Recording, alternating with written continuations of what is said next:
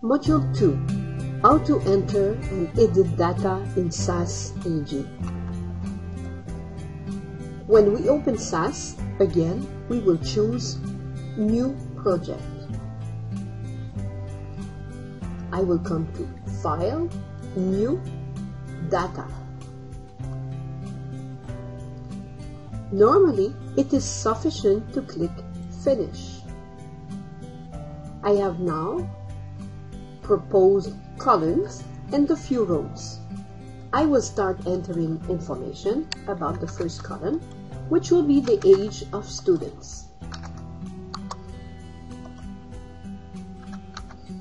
Of these five students. Now I go at the properties. It is correctly labeled as numeric and I will call that age. I need to include a second column which will be the gender. So female, female, male, male, and female.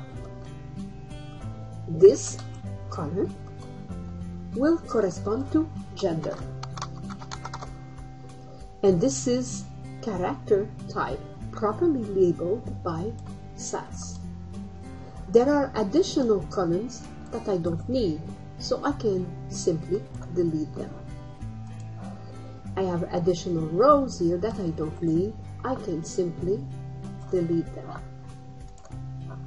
Perhaps after doing some work, I realized that I need to include a third column, which would be the GPA.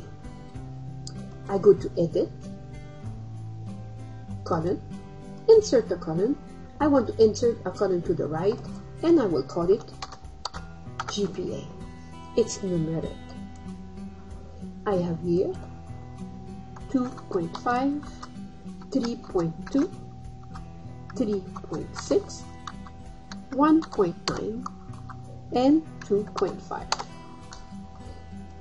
Before I can use the data to perform any analysis, I go back to Edit, Protect the data.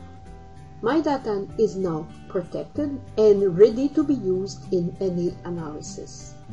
In conclusion, I do not always need to start from Excel and import data, but I can input data directly. The process flow shows me I have a data file already in SAS.